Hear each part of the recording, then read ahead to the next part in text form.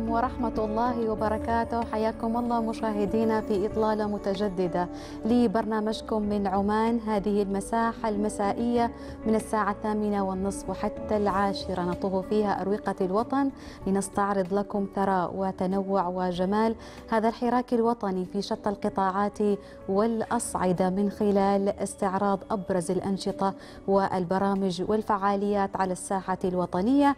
إذا مشاهدينا أمسية الثلاثاء أيضا زاخرة بالعديد من المتابعات والمحطات. نتمنى أن تأتي هذه المتابعات على ذائقتكم الطيبة.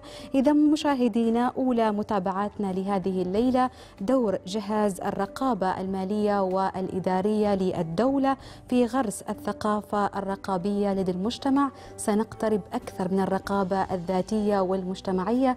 كيف من الممكن أن نخلق جيل صحي قادر على التنمية وقادر على البناء من خلال ثقافة ذاتية تغرس في كل فرد منا في عمان؟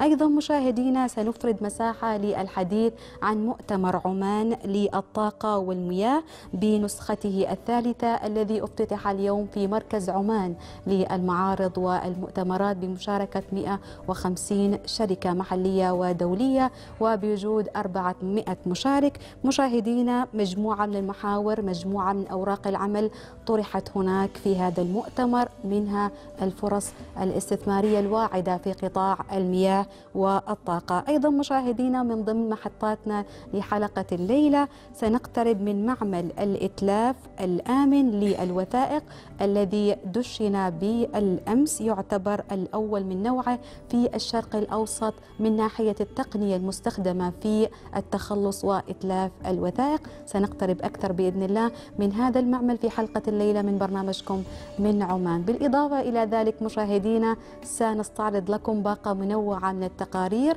نستعرض ونعكس أيضا من خلالها جهود متوالية لبعض من المؤسسات الحكومية والخاصة. تحية لكم مشاهدينا. تحية لكم حتى العاشرة. بإذن الله تبقون معنا في لحظات ممتعة حتى العاشرة. تابعونا.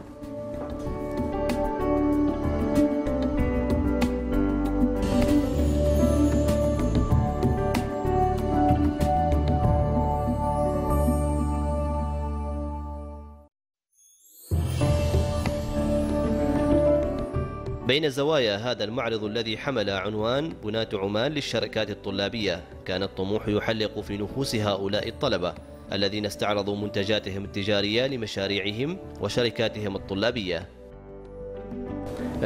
تأتي الشركات الداعمة لمثل هذه المعارض وهذه الشركات بدور كبير جدا من حيث التحفيز والتعزيز سواء لهذه الشركات ولهؤلاء الطلبة والطالبات أو حتى لغيرهم من الطلبة والطالبات الذين يرون مثل هذا التكريم حافزا لإبداع آخر لأفكار أخرى. ربما التسويق هذا يتعدى الجانب المدرسي إلى الجانب المحلي إلى الجانب ربما حتى خارج السلطنة. المعرض ثري بالشركات الطلابية التي عرضت منتجاتها التجارية والجميل في هذا المعرض هو تنوع الأفكار والابتكارات التي تسهم في رفد الأسواق مستقبلا. أهداف هذا المعرض هو نشر ثقافة ريادة الأعمال وخاصة الحين المجتمع العماني يتوجه إلى تشجيع اللي هو المؤسسات الصغيرة والمتوسطة. وهذه فرصة كبيرة حلوة أن الطلبة على أساس أنهم يبدوا يأسسوا هذه المشاريع. أه ونفس الشيء اللي هو العمل. كيف يديروا هذا العمل كيف يحسبوا فيها الأرباح. حلو يعني هو بما أنه طالب يعني ما ينتظر الوظيفة وينتظر فيها الراتب بالعكس هو يبدأ يشتغل ويدرس ويكون المصدر دخل بالنسبة له فهذه يعني وحدها بالنسبة للطالب فخر تعزز عنده الثقة بالنفس. تشجيع الطلبة على تطوير مشاريعهم وإكسابهم مهارات التعامل مع الزبائن وتحقيق الأرباح من أهم أهداف هذا المعرض. الذي يسهم في استمرارية مشاريع الشركات الطلابية المشاركة وزيادة وعي الطلبة بريادة الأعمال. أهداف شركتنا بأن نرتقي بمنتجاتنا إلى مستوى الجودة من خلال إضافة بعض اللمسات الفنية حسب الطلب وأيضا بعض الحلويات.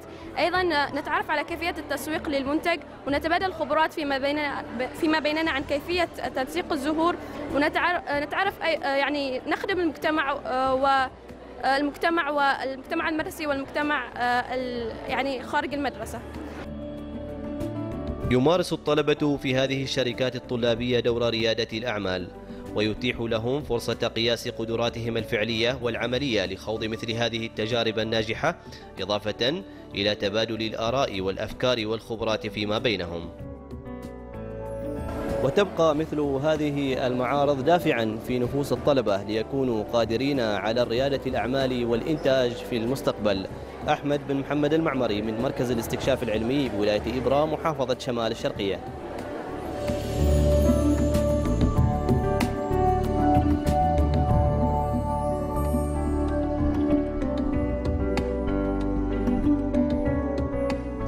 لكم مشاهدينا من جديد تحية لكل من ينضم إلى متابعتنا في حلقة الليلة من برنامجكم من عمان. كما ذكرت مشاهدينا في بداية الحلقة أولى مواضيعنا بإذن الله تعزيز وغرس الثقافة الرقابية لدى المجتمع ما أهمية وجود هذه الثقافة الرقابية الذاتية بالتحديد في أفراد المجتمع؟ تفاصيل مشاهدينا هذا الحديث برفقة ضيفي في الأستوديو. نرحب باسمكم بالأستاذ خالد بن علي الراشدي مدير دائرة التوعية وتعزيز النزاهة بجهاز الرقابة المالية والإداري للدولة. أهلا بك أستاذ خالد معنا أهلا مساء الخير. الأخت بيان.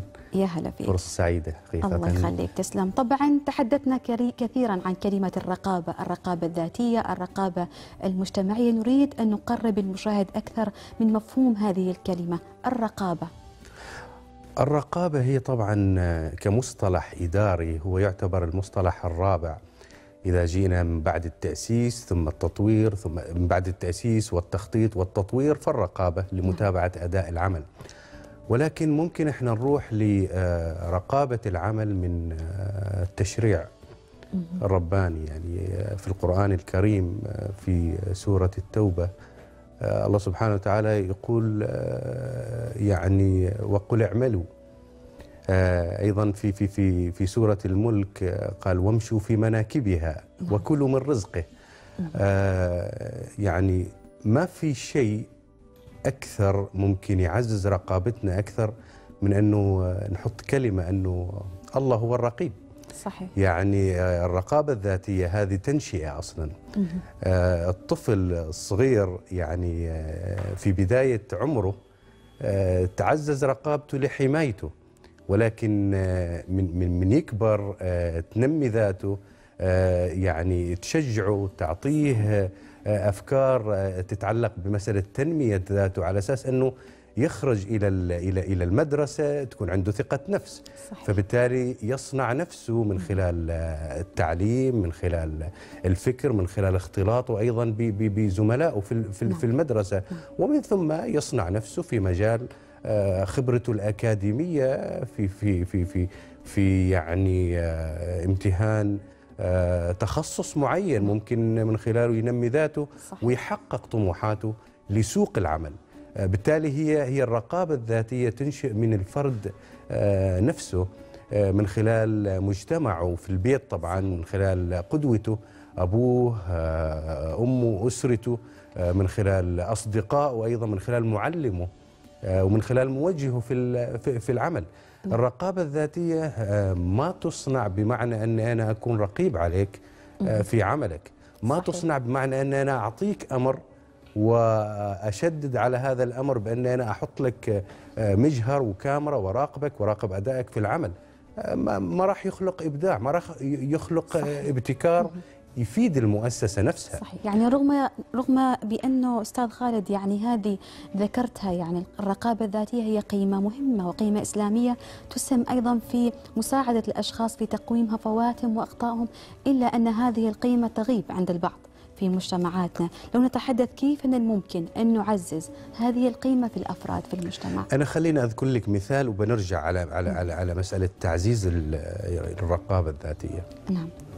جلالة السلطان حينما يعني آه، استلم مقاليد الحكم في البلاد في في السبعينيات وهذا الكلام نسأل عنه يعني آبائنا ويعني وقدوتنا في في في كيف كانت عمان وكيف أصبحت. خاطب هذه الأمة بكلمة سأعمل بأسرع ما يمكن حطي أكثر من خط على كلمة أسرع ما يمكن. نعم. معناته الأسرع يعني فيها عزم الأسرع يعني فيها صدق. الأسرع يعني فيها متابعة. الأسرع يعني فيها أيضا منح ثقة منح صلاحيات. بالتالي دولة مؤسسات وصلت إلى مستوى يعني نتفاخر فيه في آه، كافة المحافل اللي نشارك فيها في في في في في في, في, في كل دول العالم باسم عمان. ما وصلت من فراغ وصلت من خلال عمل. ولكن هذا العمل شاب تحدي. يعني كل واحد أيضا يفكر في مسألة تنمية رقابته الذاتية ما كل شيء يجي يجي يجي ببلاش. يعني أبلغ لو ذكرنا مثلا أغلب المخترعين أو أغلب مشاهير العالم أغلب عظماء العالم زين عظيم الله سبحانه وتعالى آه، اللي هو آه، لو لو لو صرنا لل- للموسيقي بيتهوفن. بيتهوفن في فترة آه، تعلمه للموسيقى كان آه، معلمه يقول هذا لا يفقه في الموسيقى ما ما يعرف شيء. نعم. آه، بيتهوفن صارت موسيقاه تعلم يعني وكل حد سمع أشهر موسيقات بيتهوفن. آه، توماس إديسون نعم. اللي أنار محاولات هالكون. بالفعل. يعني كان في البداية معلمه يعني يلقبه اعتذر على الكلمة يعني إنه هذا هذا هذا الولد غبي ولا يمكن أن أن يصنع شيئا.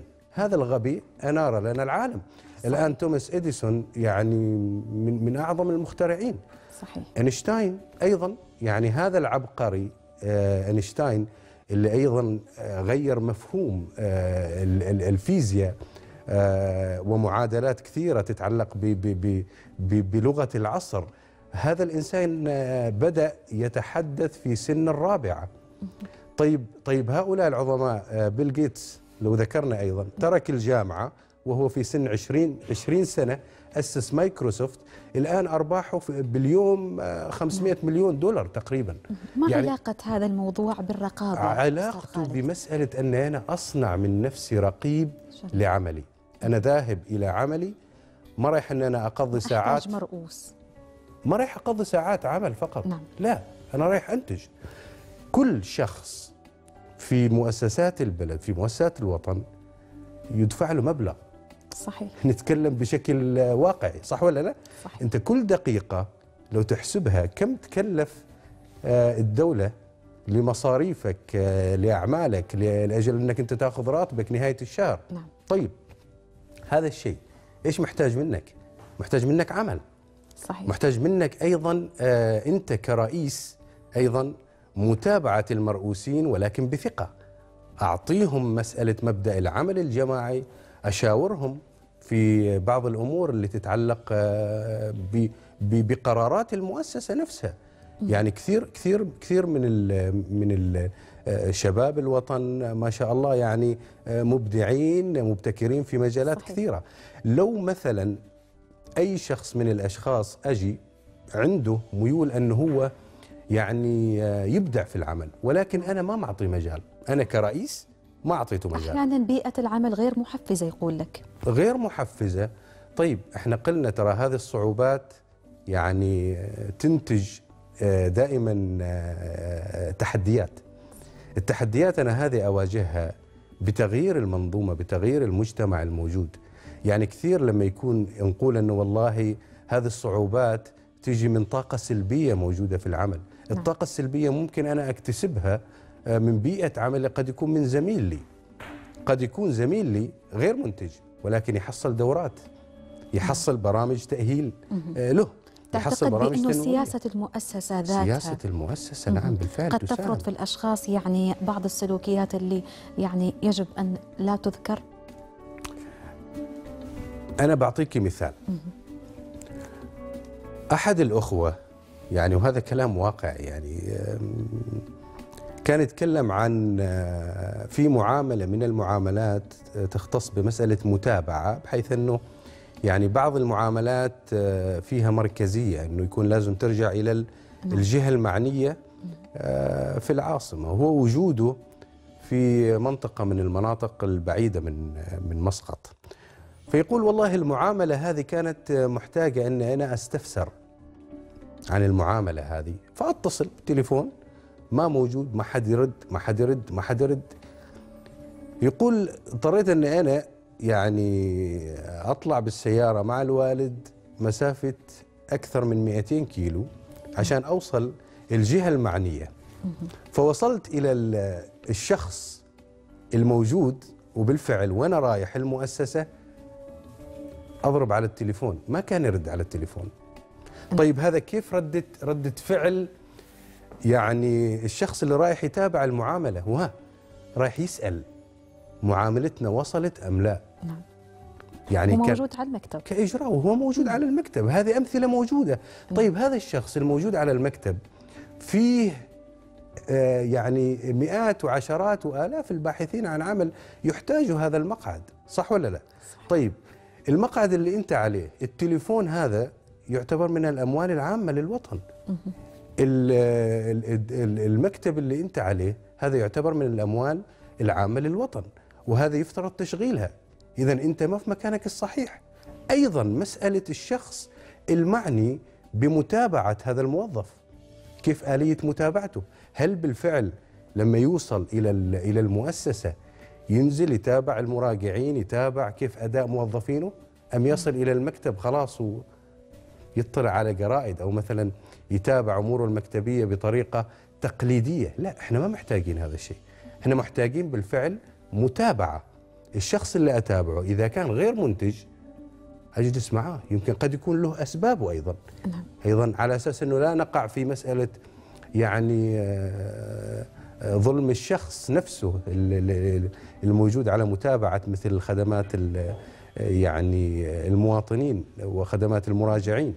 قد يكون له أسباب أيضا معينة. نعم. مثل ما تفضلت في البداية بيان أنه يعني آه، المؤسسة آه، وطبيعة عملها ممكن يكون هي اللي أثرت على آه، وجود سلوكيات سلبية مثل هذه. ولكن السلوكيات السلبية هذه غير مرغوب فيها. صحيح. لأنه مثل ما ما ذكرنا أنه أنت أخذت وقت وأيضا كلفت آه، ال- ال- المؤسسة وأيضا أخرت مراجعين. المراجع هذا قد يكون طبيب قد يكون معلم صح ولا لا؟ قد يكون مهندس. أنت بتحتاج للطبيب وبتحتاج للمهندس. كلنا منظومة متكاملة بالفعل كلنا. منظومة متكاملة. آه ال- المسؤولية ال- ال- المجتمعية مهمة أيضا في مسألة جانب آه أيضا الرقابة الذاتية. أنا ذكرت الطبيب. الطبيب أيضا وجوده في في في مكان آه يختص بحماية آه يعني ومعالجة ال- المرضى. هذه مسؤولية مجتمعية. ما تعتقد بأنه هذه الأسباب سببها بأنه اختلاف مفهوم العمل بالنسبة لكل شخص؟ هناك شخص يعتبر العمل هو يعني مثلا نقول أنه فقط أنا ذاهب للعمل لأكمله. أو فقط أنا ذاهب للعمل لأطور هذا العمل أو فقط أنا ذاهب للعمل لأكمل ساعات معينة يفرضها أو تفرضها هذه المؤسسة. لا يجي لا يداوم.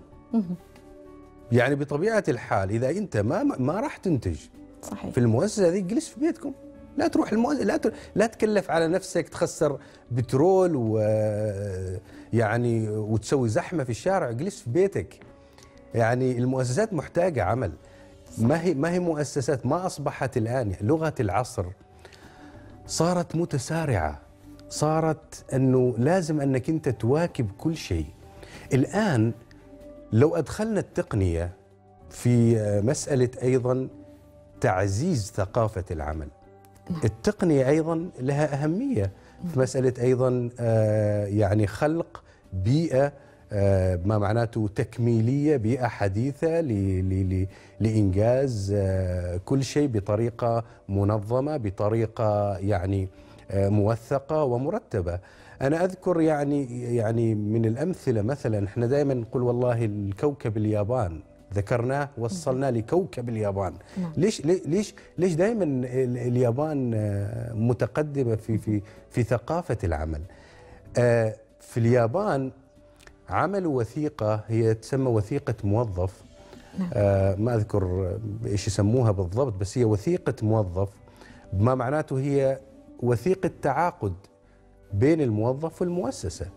أنت عندك مهام عمل تقوم فيها في الوقت الفلاني تنجزها على مدار كذا بمشاركة زملائك في العمل وحط له يعني ضوابط معينة وأوقات معينة. خلاص أنا أعطيته المهمة. اذا سلمت الثقة صح ولا لا؟ الثقة مطلوبة. صاروا من كثر ما أنه عندهم تعزيز ثقافة العمل في اليابان 2% فقط معدل الغياب من مؤسسات الدولة نعم. صارت الحكومة تحاول أن هي تكثر من مسألة الإجازات حصلت رفض ليش؟ هم غير مختلفين عنا؟ جميل ترى هي الثقافة تتأسس من من من من, من ذات الشخص نفسه ورغبته في في في في مسألة التنمية الذاتية. أيضا دور الأسرة دور المؤسسات التربوية والتعليمية في هذا الأمر. يعني يعول عليها أكيد أستاذ خالد. أكيد.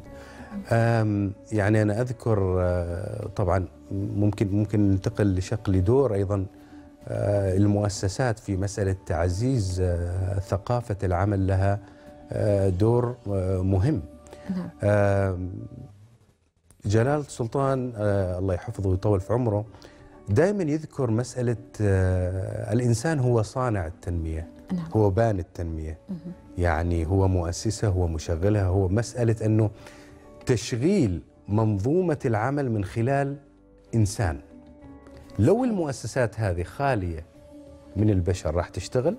ما راح. تشتغل. ولكن الإنسان هذا يحتاج أيضا تنمية ذاتية بمعنى أنه على أساس أنه هو يواكب أيضا متطلبات العمل قد يكون يحتاج ورشة من الورش تأهله. يحتاج دورة معينة. يحتاج أيضا إعطاء ثقة. بعد الثقة بعد الإنجاز بعض ال ال يعني ال ال ال المسؤولين في العمل قد يكون ما عندهم هذيك الثقافة العامة. مسألة أن أنا أحفز الموظف. صحيح. الموظف يشعر إذا أنا أنجزت عمل بس مديري أو مسؤولي في العمل يقول لي حتى ما شكراً. قال لي شكرا. نعم. بالتالي كيف راح أشعر آه، آه، يعني بداخلي؟ إذا كان حفزت الشخص هذا أنا أعطيته مهمة عمل صح؟ أنجز. حفزته أمام زملائه. بكرة زميله راح يتأثر. راح يكون أيضا صحيح. محفز. يقول والله حصل تشجيع فبالتالي أنا راح أحصل تشجيع. بيئة العمل هي دائما يعني تأتي من خلق بيئة إيجابية في كل الأحوال. جميل. آه يعني لو جينا على مسألة كيف ممكن أنا أعزز الثقافة هذه. آه انتقلنا إلى مثلا شق الشباب. نعم. الشباب محتاج أنه يعني طاقة كثيرة موجودة لدى الشباب. بالتالي الشباب هؤلاء على أساس أنه لا يدخلوا في في في مسألة أنه والله أن أنا أحصل وظيفة على أساس أني أنا آه، أحصل أول راتب يوم ثاني رايح مطلع لي سيارة اليوم الثالث آه، آه، يعني بما معناته ما يكون عندي مسؤولية اجتماعية تجاه العمل من ناحية التنمية الذاتي وأيضا فائدة لمجتمعي. الشباب يجب أنه أيضا ينخرط في في في مسألة آه، مشاركته المجتمعية. يعني الآن آه، السلطنة الحمد لله آه، يعني فيها مؤسسات مجتمع مدني آه، لجنة معنية بالشباب فيها أندية رياضية فيها جمعيات آه، آه، مجتمع مدني آه، مرتبطة بثقافة العمل بتعزيز ثقافة العمل تعزيز الخدمة المجتمعية لدى الشباب. هؤلاء الشباب إذا حسوا بقيمة المجتمع إذا حسوا بقيمة إيش يعني أني أنا أحصل عمل في المستقبل راح يكون منتجين راح يكون مبتكرين. راح راح يفكروا في في في كل وقت يعني ما معناه يستثمروه لخدمة المجتمع نفسه من خلال عملهم من خلال تطلعاتهم من خلال صنعهم للمستقبل. ولكن أحيانا رغم ذلك ما ذكرت من اهتمام وعناية الشباب يتذمر على بعض الأشياء المتواجدة في المؤسسات التذمر موجود. بلا شك فيه يعني زين ممكن التذمر أنا أحصله من شخص عنده طاقة ولكن لم يعطى مثل ما ذكرت المجال فبالتالي راح يتذمر ليش ما يكون يعني كما يقولوا آه، آه، جلسة آه، شراكة في المؤسسات بداية الأسبوع وجلسة متابعة منتصف جميل. وجلسة م- يعني متابعة ما تم إنجازه نهاية الأسبوع أنا ممكن أخلق شراكة آه، يعني مباشرة بيني وبين ال- ال- المرؤوسين في وأيضا من المشاكل. الموجوده ان أنا أتذمر مش قدام المسؤول أنا أتذمر عند زميلي أتذمر عند زميلة ما يعني أما مش عند الشخص المباشر مسؤول مش أتذمر. رغم إني فقط يعني عندما أشكو للمسؤول هي أفضل طريقة أتوقع. نعم. بدل إني أنا أبحث عن وسائل أخرى ولا إيش رأيك أستاذ قد يكون ما عنده عمل. قد يكون وجوده في المكتب ما معطيه عمل. نعم. كيف راح يشغل وقته؟ راح يشغل وقته في القيل والقال كما يقولوا. راح راح يشغل وقته في الفيسبوك وتويتر والإنستغرام وراح يشغل وقته في أمور ما تتعلق بالعمل. سوالف.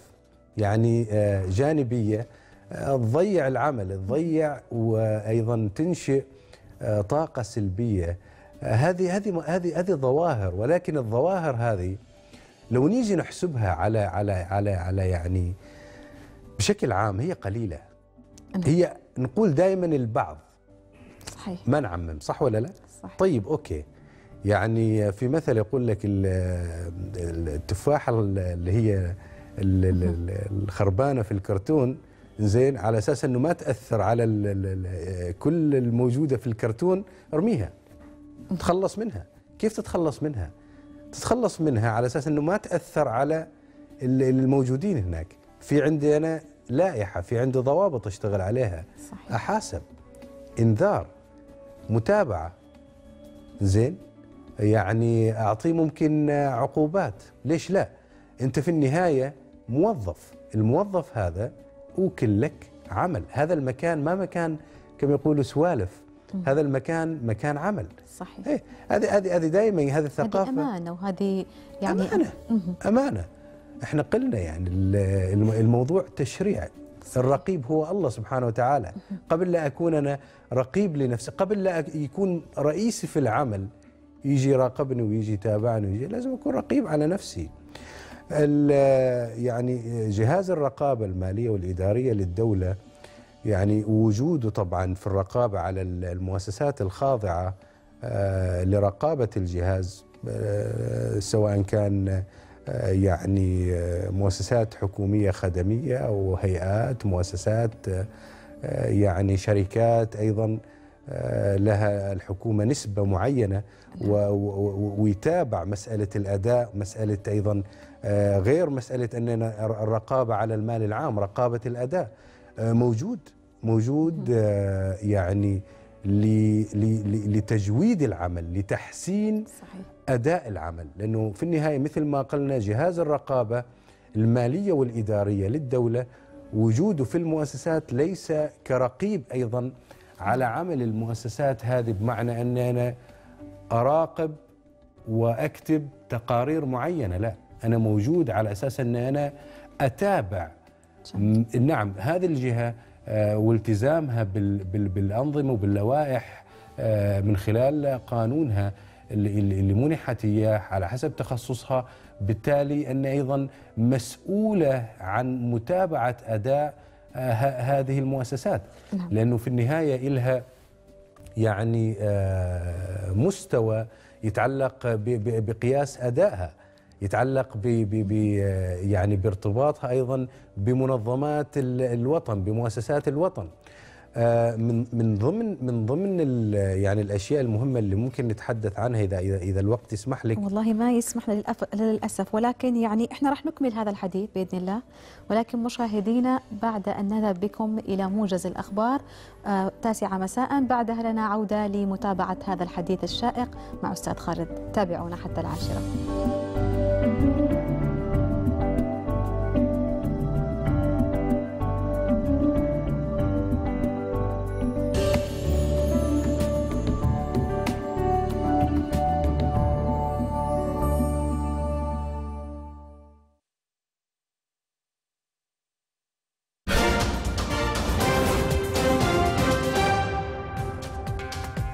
السلام عليكم من مركز الأخبار بتلفزيون سلطنة عمان. نحييكم ونقدم لكم عناوين التاسعة.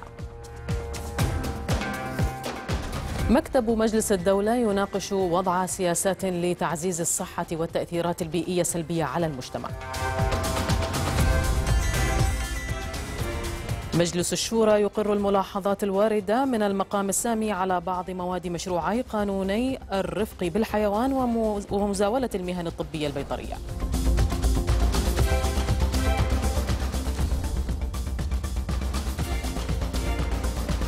جامعة السلطان قابوس تعلن عن المشاريع الفائزة بتمويل الدعم السامي لعام 2017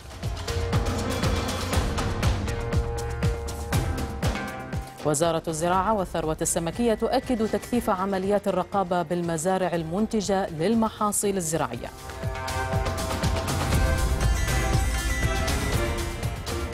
فلاديمير بوتين يدعو لإجراء تحقيق كامل ونزيه في هجوم في هجوم الغاز السام على مدينة خان شيخون بسوريا.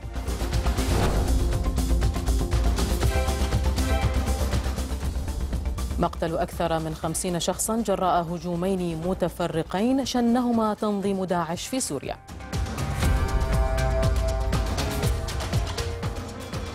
أردوغان يهدد بسحب ملف انضمام بلاده للاتحاد الأوروبي في حال لم يستكمل فصول المفاوضات معه.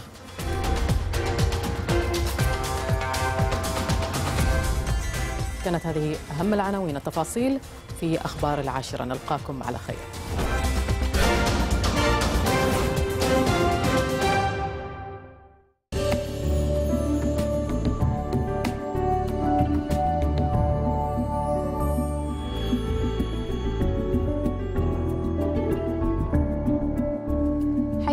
مجددا مشاهدين نرحب بكم أجمل ترحاب في حلقة الليلة من برنامجكم من عمان ما زلنا نتواصل في الحديث عن الرقابة الذاتية والتوعوية لدى المجتمع برفقة أستاذ خالد الراشدي. أستاذ تحدثنا عن تفاصيل كثيرة حول هذا الموضوع ووصلنا عند دور جهاز الرقابة فيما يتعلق بالتوعية عن هذه الأمور. تحدث وأكمل هذا الحديث. نعم. آه شكرا طبعا شكرا على وقتكم. دائرة التوعية وتعزيز النزاهة في جهاز الرقابة. آه، لو نتكلم عن آه، اتفاقية الأمم المتحدة وانضمام السلطنة لاتفاقية الأمم المتحدة لمكافحة الفساد جاءت من خلال المرسوم السلطاني رقم 64 على 2013 الذي يقضي بانضمام السلطنة طبعا ودورها دور السلطنة تكاملي مع مع وجودها في في في الأمم المتحدة لمسألة الحد من وجود الفساد ومكافحته وأيضا مكافحة الجريمة وما يتعلق بغسيل الأموال أيضا.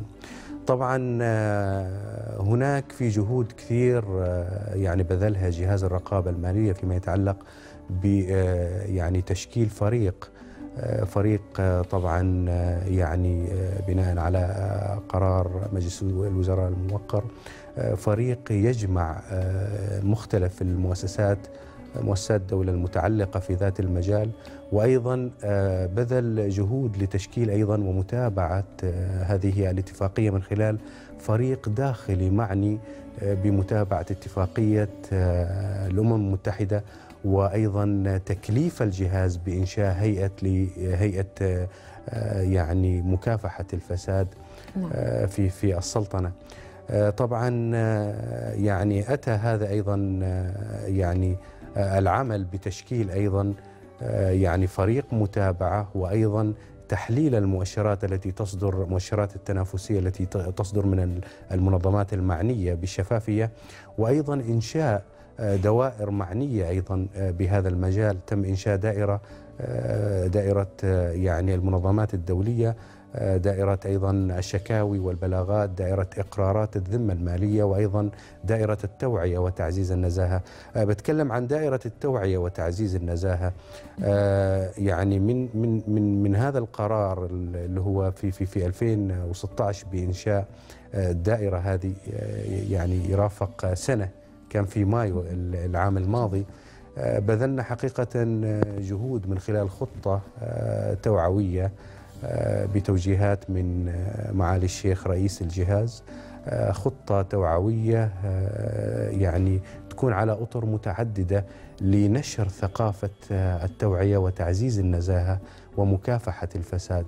من خلال تواجدنا في المحاضرات التوعوية هناك في محاضرات كثيرة تواجد فيها الجهاز في في في في في المؤسسات يعني والوحدات الحكومية وأيضا وجوده فيما يتعلق أيضا بنشر التوعية من خلال البرامج التوعوية لدينا برامج إذاعية الرقابة مسؤولية الجميع ومستمر حقيقة من خلال أيضا يعني الزميل الإعلامي بدر الشيباني. هناك أيضا وجود أيضا إعلانات توعوية مباشرة من خلال الصحافة اليومية وجودنا في جريدة عمان. وجودنا أيضا في جريدة الوطن وإن شاء الله لاحقين على أيضا الجرائد الأخرى. أيضا وجودنا أيضا في آه، مواقع التواصل الاجتماعي آه، ك يعني آه، تويتر فيسبوك إنستغرام أيضا يوتيوب. ووجودنا المباشر من خلال تلقي أيضا الاستفسارات تلقي أيضا الشكاوي وتحويلها إلى دائرة الشكاوي والبلاغات. لدينا أيضا رقم آه، مباشر أيضا ل- لتلقي الشكاوى والبلاغات. ممكن ذكره اللي هو ثمانية ستة أصفار ثمانية. آه، وجودنا أيضا من خلال يعني آه، مختلف آه، يعني الأمور التوعوية المتعلقة أيضا بضخ ثقافه ثقافة التوعية من خلال وجودنا في المدارس، من خلال وجودنا أيضا آه، من خلال ال- المحاضرات التوعوية المعنية في الجامعات والكليات. ومستمرين حقيقة بوجودنا أيضا من خلال المؤسسة هذه اللي نحن فيها الآن تلفزيون سلطنة عمان. هناك آه، يعني آه، سلسلة من البرامج إن شاء الله راح آه، نتمنى إن هي تكون أيضا ضمن باقة رمضانية آه، في في في في رمضان المقبل بإذن الله تعالى بإذن الله ونحن معكم يعني وبكم نستمر وأيضا بمؤسسات آه، الدولة آه، جميعها أيضا لنشر هذه الثقافة، ثقافة الرقابة الذاتية وثقافة أيضا آه، تعزيز النزاهة ومكافحة الفساد. بارك الله جهودكم شكر الله سعيكم سعدنا جدا بوجودك معنا اليوم في برنامج من عمان أستاذ خالد بن علي الراشدي مدير دائرة التوعية وتعزيز النزاهة بجهاز الرقابة المالية والإدارية للدولة شكرا جزيلا لك شكرا. الله يخليك. وأنتم مشاهدينا متواصلين معكم في محطات مختلفة ومتابعات أخرى بإذن نصب من خلال هذا الحراك في شتى القطاعات والأصعدة. بعد قليل مشاهدينا مؤتمر عمان للطاقة والمياه بنسخته الثالثة. تابعونا.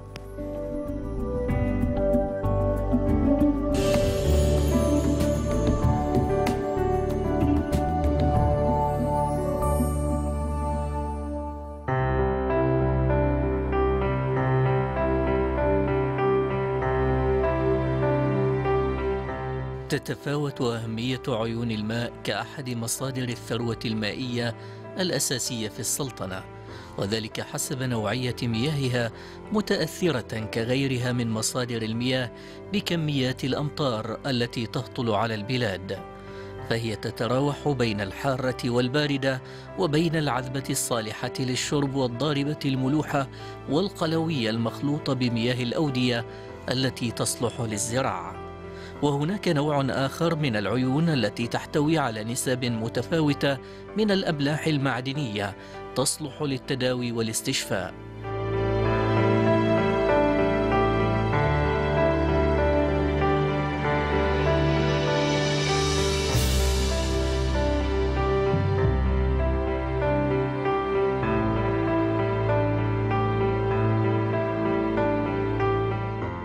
وتكمن أهمية العيون في السلطنة في كميات المياه التي تتدفق منها يوميا حيث يبلغ متوسط كميات المياه المتدفقة من العيون الحارة حوالي ثمانية ملايين جالون في اليوم ومتوسط كميات المياه المتدفقة في العيون الباردة حوالي 15 مليون جالون يومياً.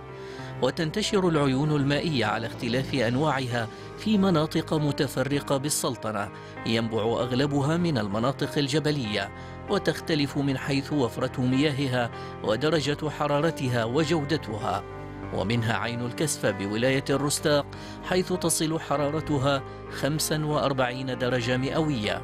وعين الثوار بولاية نخل وهي ذات مياه صحية ساخنة تنساب من الوادي لمسافة 300 متر قبل أن تتفرع في الأفلاج الموجودة بالولاية.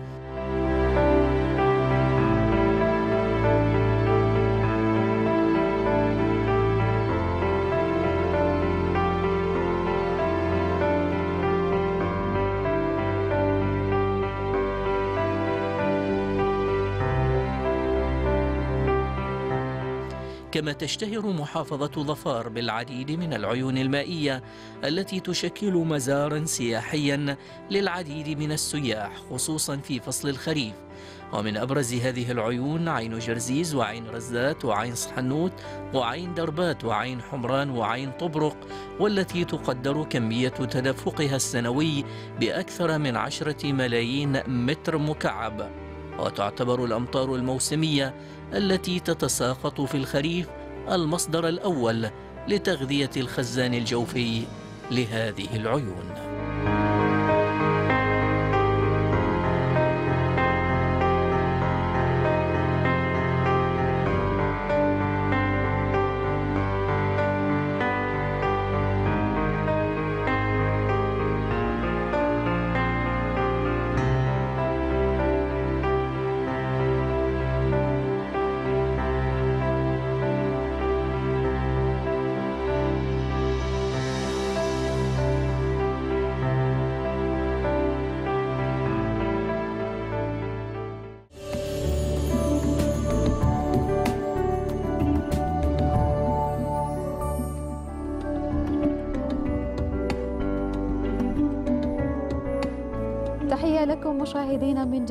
تحية لكل من ينضم إلى متابعتنا في ثاني متابعة من حلقة الليلة من برنامجكم من عمان. مشاهدينا حديث هذا أو هذه المحطة هو مؤتمر عمان للطاقة والمياه الذي افتتح بالأمس في مركز عمان للمعارض والمؤتمرات. بنسخته الثالثة يبحث العديد من المحاور التي سنتعرف عليها من خلال وجود ضيوفي في الاستوديو. نرحب باسمكم مشاهدينا بالدكتور علي بن حمد الغافري. مساعد رئيس الهيئة العامة للكهرباء والمياه. أهلا بك دكتور معنا أهلا وسهلا. حياك الله معنا أيضا مشاهدينا نرحب باسمكم بالمهندس أحمد بن حمد الصبحي الرئيس التنفيذي لشركة أكو باور بركة أهلا بك أستاذ محمد. وسهلا. مرحبا. أحمد في البداية نريد منك الدكتور علي أن تعرف المشاهد بهذا المؤتمر في نسخته الثالثة مؤتمر عمان للطاقة والمياه. بسم الله الرحمن الرحيم. بداية أود أن أتقدم إليكم بالشكر على هذا اللقاء. وكما ذكرت بأن أمس تم افتتاح مؤتمر ومعرض عمان. طبعا من خلال المسمى هناك مؤتمر ومعرض بمعنى حدثين متوازيين. عادة ما يكون مؤتمر ويكون معرض مصاحب له يكون أقل آه، من المؤتمر أو معرض ويكون مصاحب له ورشة عمل. نعم. بالنسبة لهذا الحدث هناك مؤتمر مكتمل ومعرض مكتمل. جميل الغرض من آه، عمل هذه الفعاليتين لأنه الاهتمام بقطاعي الكهرباء والمياه آه، موضوعين مهمين. ولهذا أن الهدف من هذا المؤتمر أولا آه، هو ال- ال- اللقاء بين ال- الخبراء والمهتمين بهذين القطاعين من خلال هذا المؤتمر وأيضا من أيضا الاطلاع على الأوراق التي تقدم من خلال هذا المؤتمر. وإتاحة الفرصة لكل المهتمين سواء كانوا آه، منتجين أو مشغلين أو مستثمرين أو مصنعين وحتى أيضا المستخدمين لهذه الخدمة أو السلعه جميل. فإذا صح للتعبير عندما نقول قطاع الكهرباء والمياه نقول سلعة تختلف عن أي سلعة أخرى، مثلا لو نتكلم عن أي سلعة أخرى ربما يمكن تصنع في مكان ما أو في بلد آخر وبالتالي توصل إلى المستهلك وتكون هذا سلعته. بينما خدمة الكهرباء اولا والمياه أيضا متساويتين. بمعنى إنه هناك نسميها نقدر نقول نسميها صناعة الكهرباء وصناعة المياه. المعنى في هذا بمعنى إنه يصنع الكهرباء وتوصل في نفس الوقت إلى المستهلك. جميل إذا أي انقطاع أو أي خلل في هذه الخدمة بيؤثر على المستهلك مباشرة وحتى في لقائنا لا قدر الله مثلا انقطعت الأنوار مش أيضا نحن وجودنا هنا أيضا كل المشاهدين داخل السلطنة وخارجها طبعا ما أريد أنا أزيد عن الأهمية لكن هنا يعطي مسؤولية صحيح. كبيرة بالنسبة للمهتمين بهذين هنا نستشعر أيضا حجم أهمية هذين القطاعين، يعني أستاذ أو مهندس أحمد تحدث الدكتور علي بانه المؤتمر جاء يبحث في مجموعة من المحاور أيضا تطرح فيه مجموعة من أوراق العمل، لو نقرب الصورة أكثر للمشاهد الكريم ما أبرز أوراق العمل ستتناقش بإذن الله خلال هذا المؤتمر. طيب. السلام عليكم ورحمة الله وبركاته. طبعا وعليكم السلام. آه، ببتدي برسالة ال- المؤتمر أي مؤتمر فيه رسالة طبعا. رسالتنا طبعا لهذه ال- طبعا السنة هي ترشيد الطاقة ورفع كفاءة استخدامها الطاقة والمياه طبعا. فهذه هي الرسالة الرئيسية آه، المتوخاة من المؤتمر. المحاور طبعا عندنا محاور آه، طبعا خمسة رئيسية نعم. وأيضا في ورشتين عمل آه، ورشتين عمل مصاحبة للمؤتمر. أنا لو تسمحي لي أقرأهم بس عشان ما- ما تفضل تفضل. أتذكر قرب كلهم. الصورة أكثر أقرب الصورة. طبعا هو المحور الأول والأساسي هو مستجدات حول استراتيجيات والسياسات في قطاع الكهرباء والمياه. المحور الثاني طبعا أفضل الممارسات في إدارة التشغيل والصيانة فيما يتعلق بقطاع إنتاج ونقل وتوزيع الكهرباء والمياه. المحور الثالث آخر ما توصلت إليه تكنولوجيا الطاقة المتجددة. وطبعا هذا الموضوع موضوع الساعة وموضوع حساس الطاقة المتجددة. الكل طبعا كان آه، متحمس لمعرفة الجديد آه، في هذا المحور. المحور الرابع الأبحاث الخاصة في آه، تطور صناعة الطاقة والمياه. طبعا أبحاث كثيرة آه، لكن طبعا إحنا انتقينا هذا المحور على أساس نتعرف إيش ما توصلت إليه الصناعة الحديثة في الكهرباء والمياه. المحور الخامس طبعا المحور هو الخاص في تكنولوجيا الخاصة بمعالجة المياه آه، واستخداماتها. في ورشتين عمل طبعا الورشتين عمل مهمات اللي هي أن- أنظمة وتشغيل الأمن آه، السيبراني آه، أو السايبر طبعا security باللغة الإنجليزية أو ما يعرف بأمن المعلومات. فهو تعرفي في الآونة الأخيرة حدثت تطورات كثيرة في المجال هذه فحبينا نركز عليها لأن أيضا بالنسبة لقطاع الكهرباء والمياه يعتمد اعتماد آه، كلي آه، في آلية التحكم في القطاعين هذا في الأمن المعلوماتي. فجاء التركيز آه، بالنسبة للجنة الفنية على هذا المحور وأيضا آه، عملنا ورش آه، متخصصة آه، ل- آه، طبعا مناقشة آه، ما توصلت إليه طبعا التكنولوجيا بالنسبة لأمن المعلومات. والورشة طبعا الثانية اللي هي تتعلق بمعالجة المياه والصرف الصحي نعم. آه، طبعا المياه والمصاحبة لها أيضا الصرف الصحي الآن أصبح آه، مثل ما تفضل آه، الدكتور أي صناعة وتعتمد عليها طبعا المدن البنية التحتية لكل مدينة تعتمد اعتماد كلي على معالجة المياه واستخدامها وإعادة استخدامها. نعم فهذه هي طبعا الأهداف. ورسالة ال- طبعا رسالة المؤتمر. إذا يعني أيضا في هذا الإطار دكتور نريد أن نعرج على نقطة جدا مهمة هي كيفية رفع كفاءة استخدام مواد الطاقة والمياه. آه، شكرا. بس آه، حبيت أن أوضح أن ذكرتي أن هذه النسخة الثالثة بالمعرض. طبعا استفدنا من خلال آه، النسختين السابقتين وتم الإعداد لهذه النسخة مع انتهاء النسخة الثانية وتم تكوين لجنة مختصة آه، فنيا نسميها برئاسة المهندس أحمد. طبعا رعي في هذا اللجنة أيضا أن آه، بالإضافة أن ال- الهيئة العامة للكهرباء والمياه وشركة عمان إكسبو هم المنظمين الرئيسيين. ولكن عندما انتقاء اللجنة آه، آه، را- راعينا بالإضافة أيضا إلى الهيئة العامة للكهرباء والمياه يكون هناك أيضا من شركات آه، الكهرباء شركات نما ومن جامعة السلطان قابوس. ومن البحث البحث العلمي أيضا رعي القطاع الخاص بما شركة أكوا الرئيس التنفيذي المهندس أحمد أيضا بشركة نفط عمان وشركة سيمنز.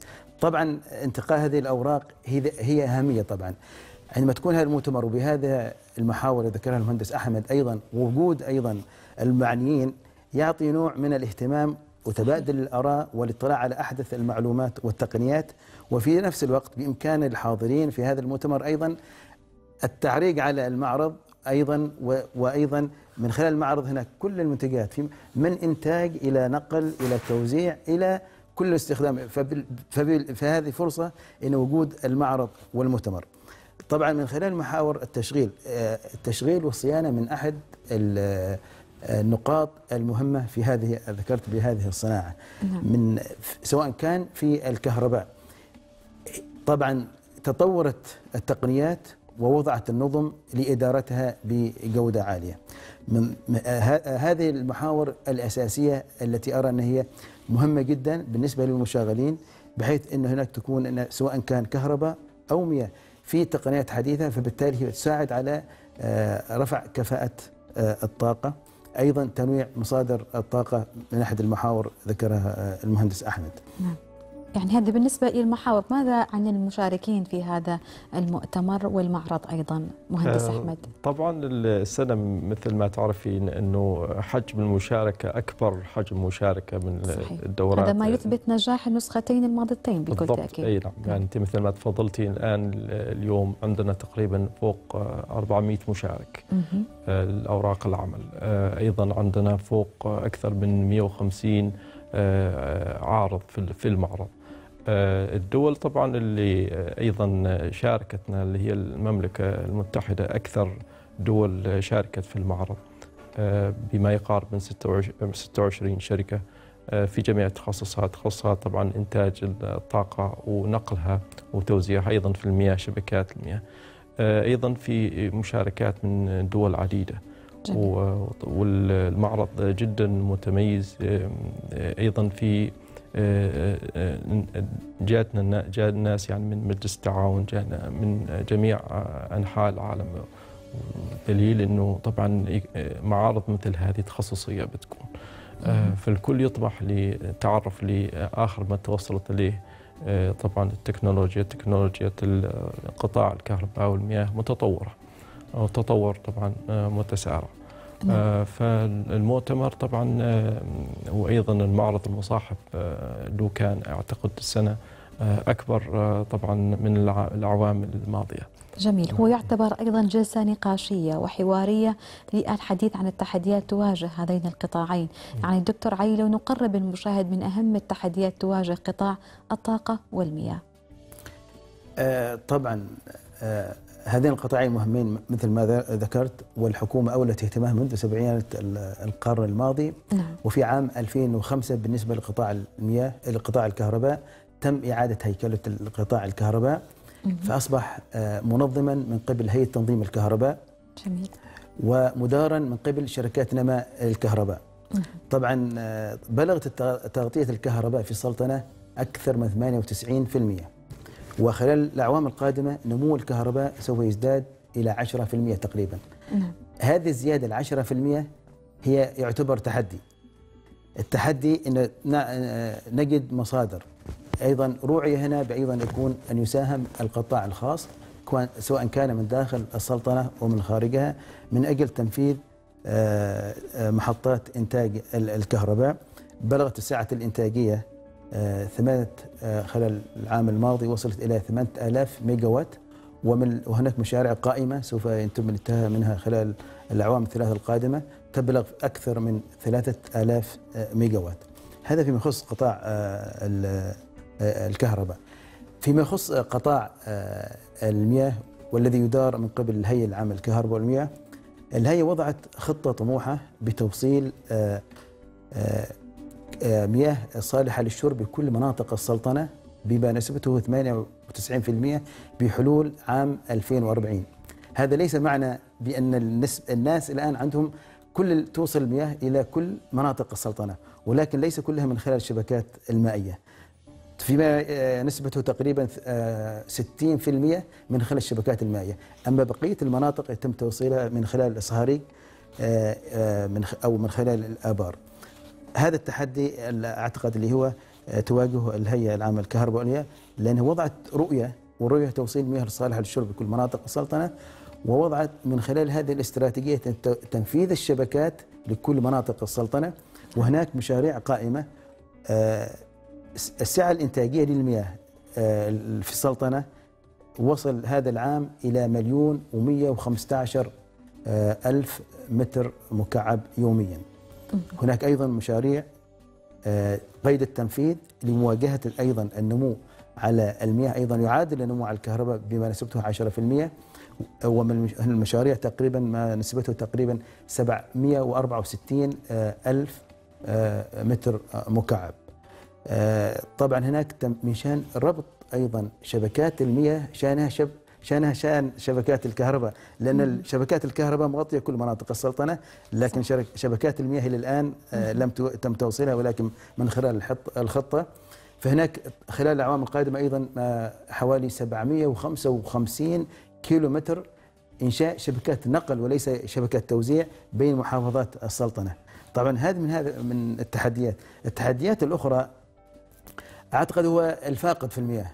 وهذا أيضا آه، تولي الهيئة اهتمام كبير بنسبة الفاقد نتيجة للأعطال أو آه، للضغط على الشبكات. ينتج هناك من وقت لآخر الأعطال وهذا يسبب عبء أيضا على آه، المشغلين في هذه الناحية. نقطة أخرى أيضا طبعا مصادر الطاقة عندنا والاهتمام بتنويع مصادر الطاقة. صحيح. مصادر الطاقة كل كبير هذا. نحن نعم مهت... كل مصادرنا الآن من الغاز ما نسبته 98% 2% من الديزل. ولكن أيضا من خلال المحاور ذكرها المهندس أحمد أيضا الاهتمام بالطاقة المتجددة نعم. اللي هي تكون رافد لأحد مصادر الطاقة والذي أيضا بدأ الاهتمام بها وفي هناك آه، مشاريع قيد التطوير والتنفيذ. أيضا في هذا المجال طبعا هذا جزء من التحديات ولابد وهذا شيء في كل طبيعي مجال لابد هناك تحديات ولكن بالجهود المتوالية تتلاشى هذه التحديات. يعني بوركت جهودكم في ذلك دكتور علي. أي. مهندس أحمد كختام لهذا الحديث نقرب المشاهد أكثر نستعرض له أيضا يعني ملامح من المعرض والمشاركين فيه. نعم. آه، بالنسبة للمعرض طبعا آه، هناك آه، يعني السنة انتقينا مزيج من ال- التكنولوجيا وأيضا مقدمين الخبرات. في بيوت خبرات كثيرة. السلطنة طبعا كانت سباقة في عملية آه، آه، تخصيص قطاع الكهرباء. آه، فطبعا ال- الكل ينظر آه، للسلطنة كمركز آه، يعني أو أو كتجربة في عملية التخصيص. آه، التخصيص طبعا آه، السلطنة من من أو- من أوائل الدول في مجلس التعاون اللي انتهجت آه، هذا. ففي شركات رؤوس أموال آه، آه، طبعا آه، خارجية تدفقت للسلطنة وبنت أيضا هنا رؤوس أموال. فتطمح كثير لمعرفة استراتيجيات سياسة طبعا السلطنة في عملية التخصيص وعملية أيضا إعادة هيكلة أيضا إعادة هيكلة قطاع المياه. الكل ينظر له بشغف. طبعا وجود أيضا هيئة التنظيم آم، آه، وجدت أطر قانونية طبعا هو اللي طبعا آم، جذب رؤوس الأموال هذه اللي تدخل. فطبعا ال- المعرض والمؤتمر ركز كثير على آه، التعرف على آه، طبعا مستجدات سياسات واستراتيجيات طبعا هناك طلب وطلب مستمر مثل ما تعرفي للكهرباء والمياه. يمكن ال ال طبعا ال بعض الصعوبات ال- الاقتصادية اللي يمر فيها العالم. آه، أخرت الطلب لكن السلطنة آه، الطلب يعني ما زال مستمر بالنسبة للخدمتين الرئيسيتين الكهرباء والمياه. فأصبحت يعني مركز آه، كبير للمستثمرين للممارسين يعني لتسليط الضوء على هذه ال- الأشياء. فيستقطب ناس كثير المؤتمر. يعني السنة المشاركين ما كنا صراحة متوقعين الكم الهائل من المشاركين ما زال ما زالوا الناس كثيرة أيضا ترغب في الحضور. آه، للتعرف على طبعا السياسات القادمة والمشاريع. أهم شيء طبعا المشاريع اللي راح تطرح ولقيد الدراسة. طبعا المشاريع اللي هي اللي تعتمد على أيضا الطاقة المتجددة ال- ال- الكل ينظر إلى الطاقة المتجددة. طبعا الطاقة الشمسية طاقة الرياح أيضا الجديد أيضا هناك طاقة الفحم. محطات كثيرة الآن أو دول كثيرة تعتمد على آه، طبعا الفحم وهو في مناطقنا إحنا العربية هذه تجربة تجربة جديدة. آه، فالمؤتمر آه، للممارس للباحث للمهتم لأصحاب يستمر حتى متى مهندس آه، أحمد؟ يستمر إلى بكرة إن شاء الله. جميل. كيف كان. التفاعل والإقبال خلال اليوم الماضي واليوم دكتور علي؟ بالنسبة من خلال ال- المشاركين هناك آه، ازدياد. جميل. وأيضا هناك دعوة الآن من خلال آه، اللقاء هذا إن خاصة نقطة مهمة أيضا من خلال ما يعرض في المؤتمر أو أو اللي هو ترشيد الكهرباء والمياه. نعم. فايضا أدعو الزائرين أيضا للقيام. بزيارة خاصة فيما يخص المستهلك. آه، أيضا هناك استخدام أيضا الطاقة الشمسية لتسخين المياه ترشيد الكهرباء.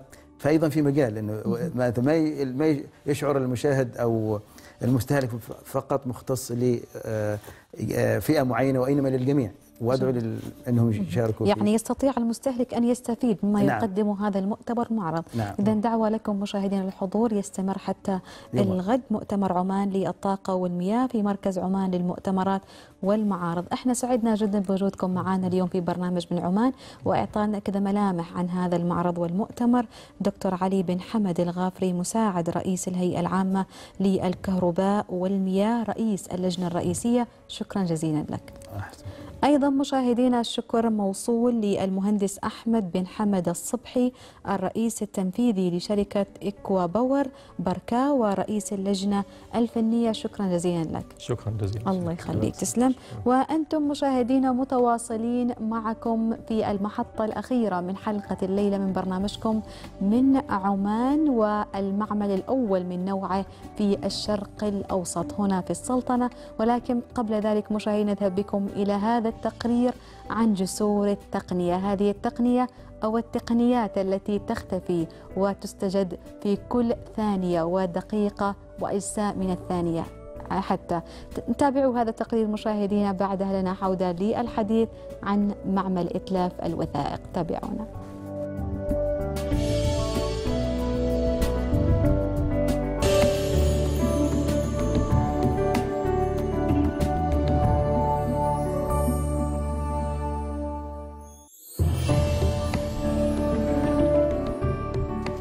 تشابكت جذور حياتنا فتحولت أكثر تعقيدا وتعاظمت خططنا ومشاريعنا المستقبلية وتنامت حقول المعرفة والتقنية معلنة عن حاجة ملحة لوجود حلول عملية تتماشى مع مسار سرعة العصر.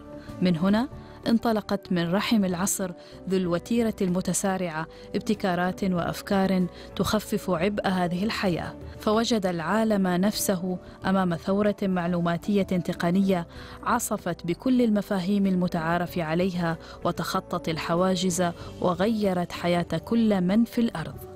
أصبحت تقنية المعلومات اسلوبا للحياة العصرية وأداة تتماشى مع وتيرة العصر لتطوي المسافات وتختصر الإجراءات الروتينية.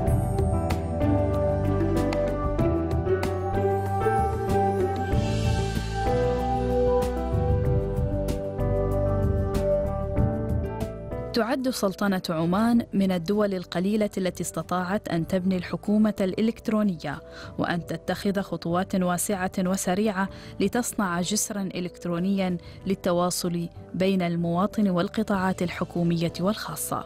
وتعتبر الهيئة العامة لتقنية المعلومات هي المنبع الأساسي والمسؤول عن صياغة وتنفيذ استراتيجيات الحكومة الإلكترونية في كافة ربوع السلطنة.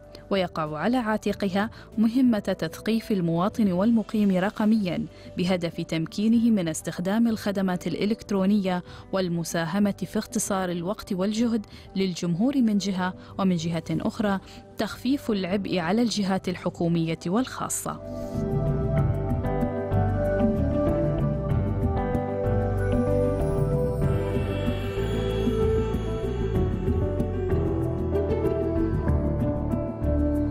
وجاءت جائزة السلطان قابوس للإجادة في الخدمات الإلكترونية لتكون دلالة واضحة على دفع الجهات الحكومية للتنافس في هذا المجال وللتأكيد على أهمية تقنية المعلومات.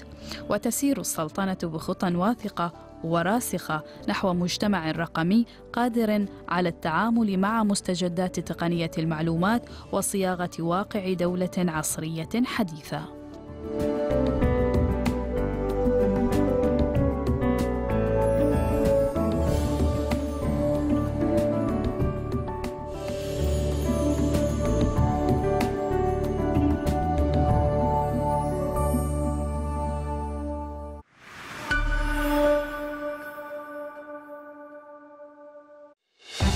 تعزيز العلاقات يتطلب أجيالا متعاقبة. لكننا وكونكم شركاءنا في رحلة التميز حققنا كل هذا في عشر سنوات فقط. قصة بنك صحار تحكي مسيرة إنجازات متميزة حيث الرؤية تحدد ملامح العمل. والاجتهاد ينال التقدير. والشفافية تعزز قيم النزاهة. والتفاني يدفع بعجلة النمو. والالتزام يشجع على المسؤولية. والتميز يعجل بخطط التوسع. والتمسك بالعقيدة يلهم للتطور.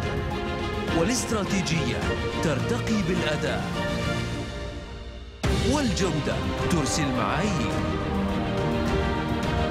والطموح يحفز للابتكار إنها عشر سنوات من الإنجاز ولكن مسيرة رحلتنا معك قد بدأت للتو. مع أكبر عدد من السحوبات والجوائز فإن الجميع يبادرون بالخطوة نحو برنامج الادخار من بنك صحار مع سحوبات كل ساعة ستحصل على العديد من فرص الفوز. كما أن هناك سحوبات خاصة لأصحاب الادخار العالي وأكبر عدد من السحوبات للأطفال. وبالنسبة للنساء هناك سحوبات خاصة بهن. وأيا كان فرع يمكنك الفوز في السحوبات الخاصة بالفروع بالإضافة إلى سحوبات خاصة بالمحافظات. هناك أيضا سحوبات عامة أسبوعية وشهرية للجميع.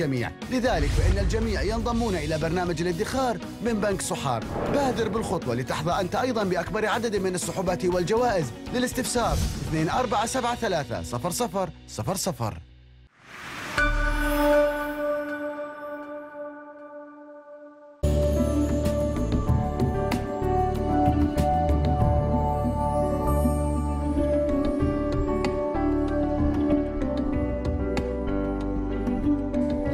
مشاهدينا في المحطة الأخيرة لحلقة الليلة من برنامجكم من عمان. نتابع فيها تفاصيل معمل الإتلاف الآمن للوثائق الأول من نوعه في الشرق الأوسط الذي دشنته اليوم.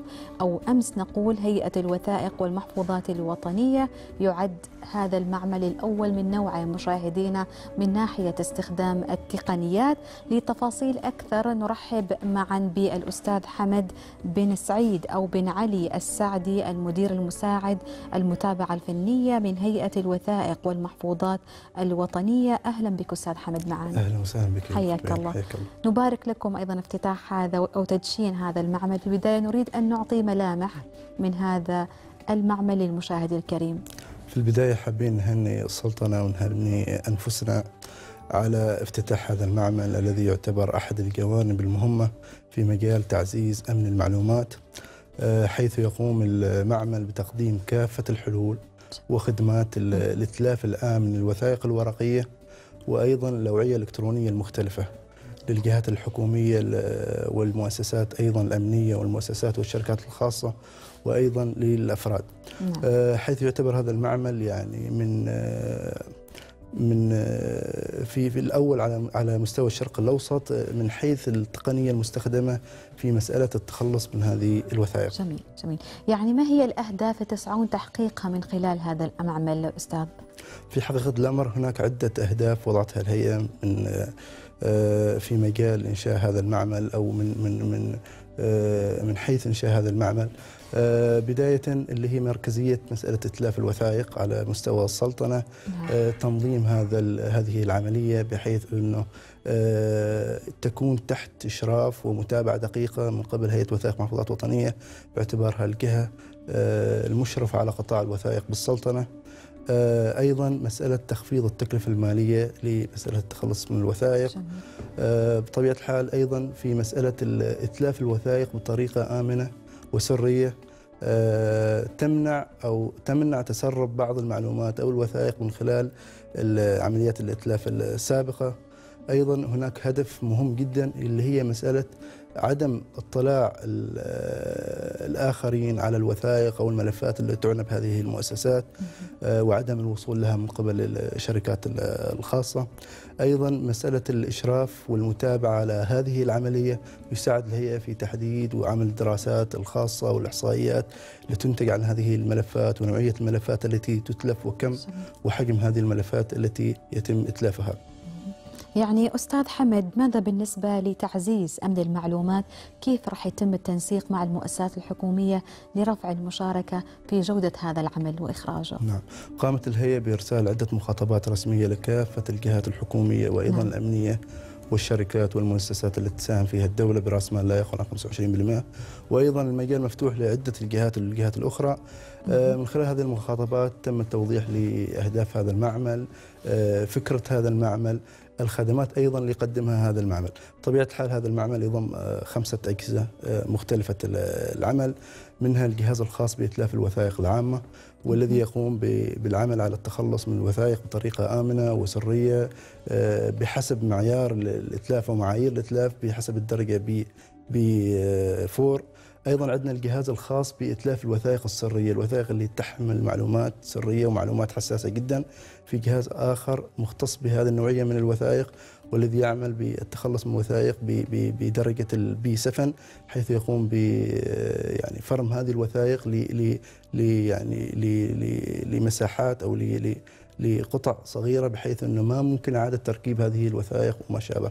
أيضا عندنا الجهاز الخاص بالتخلص من من من الأوعية ال- الإلكترونية المتمثلة في في الأوعية الصلبة أو أو الأشرطة الصلبة كال hard disk. وعندنا أيضا الجهاز المتعلق بالتخلص من آه، الوثائق ال- والأوعية ال- المرنة والمضغوطة. والأشرطة الفيديو والأشرطة السمعية وما شابه. وفي عندنا أيضا الجهاز يحتوي هذا المعمل على جهاز خاص بأجهزة الاتصالات أجهزة التخلص من أجهزة الاتصالات آه، والطيف الترددي والرقمي لحساسية آه، المعلومات اللي تحتويها هذه الأجهزة. مهم. يعني تقنيات حديثة جدا مستخدمة في هذا المعمل. نعم. يعني أستاذ حمد عوضا عن إتلاف الوثائق ماذا سيقدم أيضا هذا المعمل من أعمال إضافية؟ نعم. مثل ما ذكرت إنه المعمل يعني آه، الهدف الأسمى منه اللي هي مسألة التخلص من الوثائق بطريقة آمنة وسرية.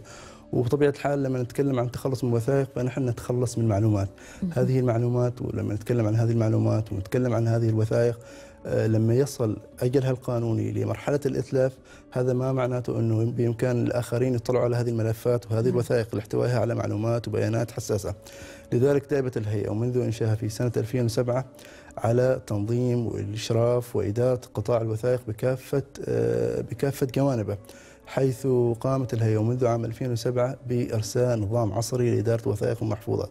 لكل جهة حكومية خاضعة لهذا القانون من خلال هذا ال- النظام يحدد أنواع الملفات والوثائق الموجودة على مستوى هذه الجهات الحكومية ويحدد قيمة هذه الملفات فبفضل هذا النظام أو هذا الدليل يساعد الجهة المعنية على معرفة نوعية الملفات اللي راح تتلف بعد فترة انتهاء الأعمال الخاصة فيها وأيضا يساعد هذه الجهات في معرفة الملفات اللي راح تحفظ كحفظ دائم بالنسبة للدولة. الدولة باعتبارها تشكل ذاكرة وقيمة وطنية للدولة. آه، لذلك آه، يعني من خلال هذا المعمل يعني ومن خلال الإجراءات اللي قامت فيها الهيئة ما ممكن لأي جهة حكومية خاضعة لهذا القانون تقدم على مسألة إتلاف أي وثائق أو أي وثيقة إلا بعد الحصول على موافقة الهيئة. فمن خلال هذا النظام ومن خلال هذا الدليل هو الذي يحدد ما نوعية الوثائق التي تتلف وما نوعية الوثائق هناك التي اشتراطات تحفظ ومواصفات معينة؟ بالضبط. هناك في في قيمة معينة لهذه الوثائق فيها القيمه فيها القيمة المعنوية فيها القيمة المادية سواء وثائق تتعلق بجانب السياسة وثائق تتعلق بجانب الاقتصاد بجانب المجتمعي آه، وثائق تتعلق بالأفراد نفسهم. فكل هذه الوثائق تم تحديد لها مدة معينة أو مصير معين. بعد ذلك تؤول إما للإتلاف أو الحفظ في جانب الإتلاف لما يحين موعد إتلاف هذه الوثائق تقوم الجهة بمخاطبة الهيئة من خلال استمارة معدة في هذا الغرض. هذه الاستمارة موضح فيها تفاصيل الوثائق والملفات المراد إتلافها ليقوم بعد ذلك المختصون في الهيئة بدراسة هذه آه، بدراسة هذه هذه الملفات والوثائق ومطابقتها مع القانون. أو النظام المعد لكل جهة اللي تم على ضوء تحديد نوعية الملفات المراد إتلافها. بعد ذلك آه، في نوعية حاويات معينة. هذه الحاويات آه، يعني مصنع وفق آه، أفضل الممارسات في في مسألة الأمن والسلامة. نعم. ترسل للجهة المراد إتلاف وثائقها تضع ال- الجهة الملفات والوثائق في الصناديق هذه أو الحاويات هذه ولا يمكن بعد ذلك الاطلاع عليها حتى من قبل موظفي الهيئة. فيتم إرسال هذه الحاويات مباشرة إلى معمل الإتلاف ومن ثم يتم تفريغ هذه الحاويات في الجهاز مباشرة ليتم التخلص من هذه الوثائق من دون الاطلاع عليها من قبل ضمان الآخرين. سرية أكبر يعني فاعلية أكبر في نقول عملية جديدة لإتلاف الوثائق لو نقارن ما بين العملية كنتم أيضا تعتمدون عليها في الإتلاف وما بين العملية التي جاءت بعد افتتاح هذا المعمل نعم. أستاذ حمد في السابق وحتى قبل القانون وثائق محفوظات كانت هناك في عدة ممارسات اجتهادية في مسألة التخلص من الوثائق منها مسألة الردم ومنها مسألة اللي هي حرق الوثائق. فجاء المرسوم السلطاني رقم 60 على 2007 نظم هذا الجانب وبالتالي في أحد مواده مواد هذا القانون أشار إشارة واضحة وصريحة بمنع الحرق ومنع الردم باعتبار أن هذه الجوانب لها تأثير معين إما على مستوى البيئة أو على مستوى تسرب هذه الوثائق. فبالتالي الجانب المهم والجانب الإيجابي في هذا المعمل أنه يتم التخلص من هذه الوثائق من خلال أحدث الأجهزة التي تم اقتناءها في هذا الجانب. وأيضا يتم التخلص منها بطريقة آمنة وسرية من دون الاطلاع الآخرين على محتوى هذه الملفات وعلى محتوى هذه الوثائق ومن دون أيضا الإضرار بالبيئه وضمان عدم تسرب هذه الملفات والوثائق إلى الأشخاص الآخرين. نبارك لكم من جديد ونبارك لأنفسنا أيضا افتتاح هذا المعمل، معمل الاتلاف الآمن للوثائق الأول من نوعه في الشرق الأوسط من ناحية أيضا استخدام التقنيات، سعدنا جدا بوجودك معنا اليوم في برنامج من عمان، حمد بن علي السعدي المدير المساعد بالمتابعه الفنية هيئة الوثائق والمحفوظات الوطنية، شكرا جزيلا لك. عفوا. الله يخليك. مشاهدينا بعد قليل نصل بكم إلى ختام حلقة الليل من برنامجكم من عمان تابعونا